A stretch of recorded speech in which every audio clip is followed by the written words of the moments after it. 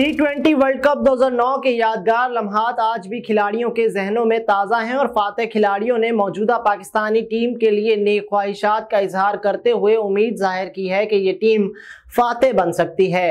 इन खिलाड़ियों ने कहा कि बाबर आज़म और इनके साथी खिलाड़ी 15 साल पहले की जीत को दोहराने की सलाहियत रखते हैं। याद रहे कि पाकिस्तान ने यूनस खान की क्यादत में टी ट्वेंटी वर्ल्ड कप 2009 के फाइनल में श्रीलंका को शिकस्त देकर पहली मरतबा इस मुख्तर फॉर्मेट का आलमी चैंपियन बनने का एजाज हासिल किया था।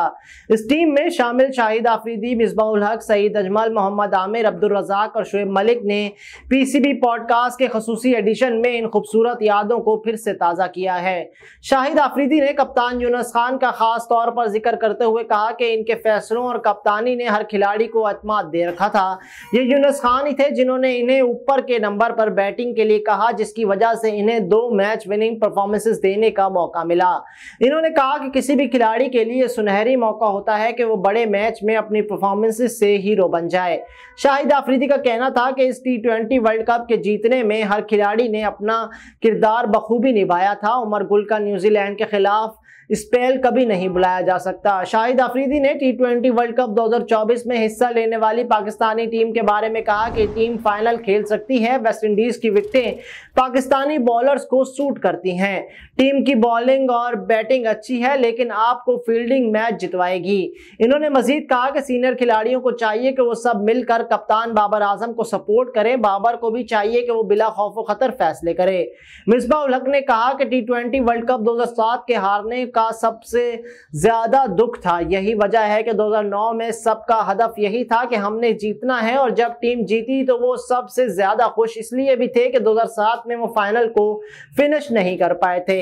मिसबा उलहक ने कप्तान यूनस खान के बारे में कहा कि जब फाइनल में जीत करीब थी तो यूनस खान ने खुद बैटिंग के लिए जाने के बजाय मुझे भेजा, क्योंकि यूनस खान को मालूम था कि मैं 2007 के फाइनल में मैच फिनिश नहीं कर सका था, लिहाजा वो चाहते थे कि मैं इस बार जीत के मौके पर क्रीज पर मौजूद रहूँ।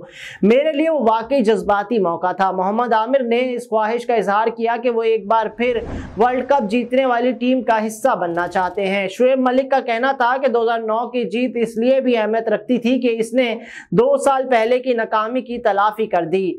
इसलिए सबसे ज़्यादा यादगार लम्हा वो था जब पाकिस्तान फाइनल जीता और वो इस वक्त क्रीज पर शाहिद आफरीदी के साथ मौजूद थे।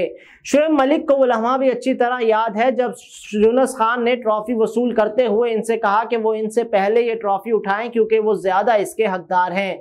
यूनस खान को 2007 का इवेंट याद था जिसमें हम सिर्फ़ एक कदम फतह से दूर रह गए थे।